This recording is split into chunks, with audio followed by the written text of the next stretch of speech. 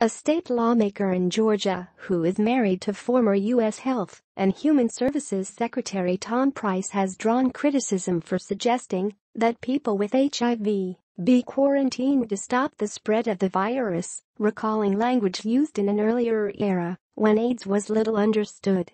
What are we legally able to do?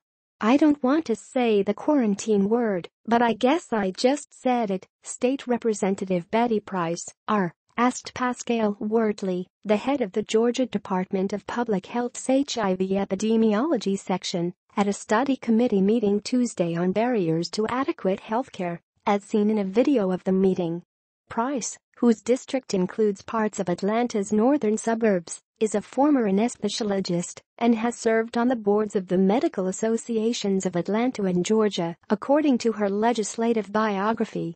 Is there an ability, since I would guess that public dollars are expended heavily in prophylaxis and treatment of this condition, so we have a public interest in curtailing the spread, she continued. Are there any methods, legally, that we could do that would curtail the spread?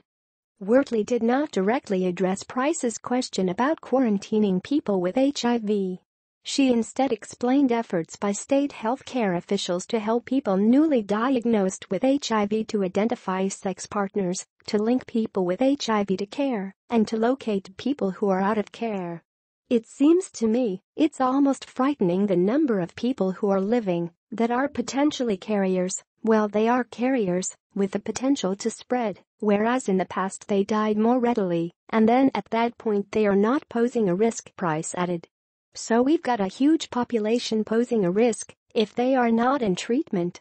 Neither Price nor Wortley responded to requests for comment Friday.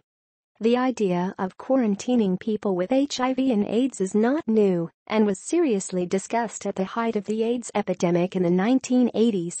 More than half of respondents in a 1985 Los Angeles Times poll supported isolating AIDS patients. There is this idea of building a wall against infection, Harvard University medical historian Allan Brandt told NPR, adding that strong opposition curtailed any efforts to enact such measures.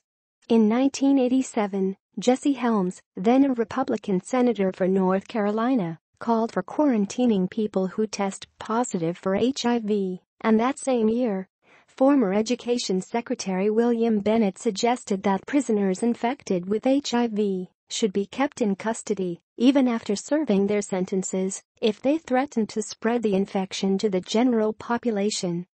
Online, news of Price's comments were met with outrage. In an interview with Stat News, Jeff Graham, executive director of Georgia Equality, said Price's comments were incredibly disturbing and show that HIV is still stigmatized. It's very troubling to hear comments like that, he said. It shows the amount of work that still needs to happen to educate elected officials on the reality of the lives of people living with HIV. I'm hoping Representative Price would be open to sitting down, meeting with folks, hearing how those comments sound, and recognizing that's not the direction we need to go in.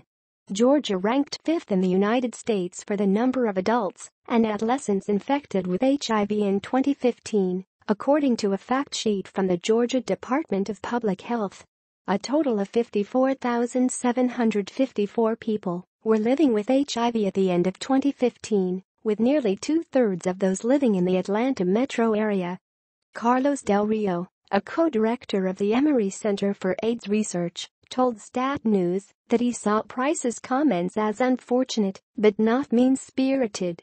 Dazon Dixon Diallo, the founder and executive director of SisterLove, a nonprofit organization focused on women's AIDS and reproductive justice, told Project Q Atlanta that Price's comments showed that there was a lot more educational work to be done. When we come into spaces like this and we hear questions around how legally far can we go to isolate people or even quarantine people, then it just lets you know that we have a real uphill battle, Diallo said.